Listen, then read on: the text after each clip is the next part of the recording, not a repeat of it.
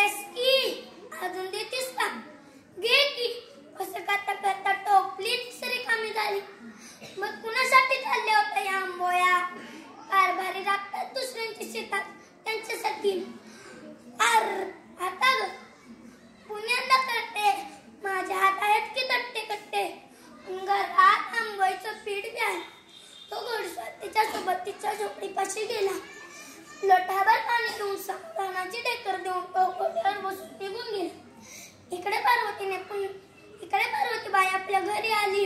तिने आंबोळीच्या पिठाच्या डब्यात पाहिले. पीठ आहे का? तर पीठ होते. एवढ्यात होती ना आंबोळ्या असं म्हणत तिने पुण्यांदा आंबोळ्या बनवल्या आणि ती शेताकडे निघाली. शेतात पोचल्यावर तिच्या पतीने विचारले काय ग पारू? आज इतका उशीर. ती म्हणाली आव वाटत ते गोडे स्वारते लई बुक्याला होता. त्याला जीव घातलं. पुण्यांदा करता उकच झाला. बेस केलं बघ. तो भुकेला माणूस पोटभर जेवला ना मग भगवंताच जेवला. खबर आता सुखानं असं म्हणत तिने आपल्या पतीसाठी आंबोळ्या वाढल्या ते दोघे जण मिळून आनंदाने आंबोळ्या खाऊ लागले. दुसऱ्या दिवशी राजाच्या तुतारापाशी पाहून शेतकरी थोडा घाबरला. ते म्हणाले पार्वतीबाई आंबाईवाली तर राहते काय? काय? काय केलं तिनं? शेतकऱ्यांनी घाबरतच विचारते तिला आणि तिच्या पतीला शाहू महाराजांनी ताबडतोब दरबारात बोलवले. का गाई तर नाही शेतकरी विचार पडला पार्वतीबाई म्हणाली या काय कुणाच वाईट केलं? सांगू महाराजसनी भुकिल्याला पोटभर खाऊ घालणं काय? अपराध झाला का देवा ते दोघे नवरा बायको दरबाराकडे निघाले.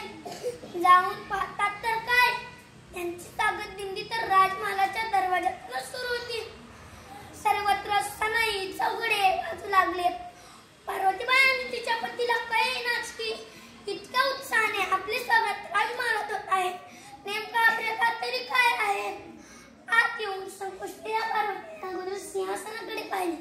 पाहते तर काय आ रोज की तो कालचा घोडेवाला बाबा. म्हणजे महाराज होते. माप्या असावी मी काल तुम्हाला बाहू म्हणलं. एकेरी बोलावलं. चुकी झाली. पार्वतीबाई राजा हा प्रजेचा पंडू. सका पिता सर्व काही असतो. तू काल ज्या प्रेमाने मला आंबोया पोगते त्यांनी मी प्रसन्न झालेलो आहे आता तुझ्या पतीला दुसऱ्यांच्या शेतात राबण्याची गरज नाही मडील बुद्रुक येते मी तुमच्या नावावर दहा एकर जमीन इनाम म्हणून करत आहे हे ऐकतात त्या गरीब जोडप्याच्या डोळ्यात आनंद राहिली ती जोडी महाराजांना नमस्कार करून जाण्यास निघाली तेवढ्यात महाराज म्हणाले या आमच्या बहिणीचा साडी चोळ देऊन सन्मान करा माहेर वचन आहे ती आमची हे ऐकताच पार्वतीला तर घेऊनच आले कोल्हापूरचे प्राध्यापक जे शेत शाहू महाराजांनी इनाम म्हणून दिलं होतं. ते शेत आज सुद्धा आंबोईचे शेत म्हणून प्रसिद्ध आहे. मित्रांनो राजा असावे तर असेल शाहू महाराजांसारखे आणि प्रजा असावी तर असेल पार्वतीबाई सारखी भुकेल्याला अन्न देणे तांबलेल्याला पाणी देणे हाच खरा मानवता धर्म आहे. धन्यवाद.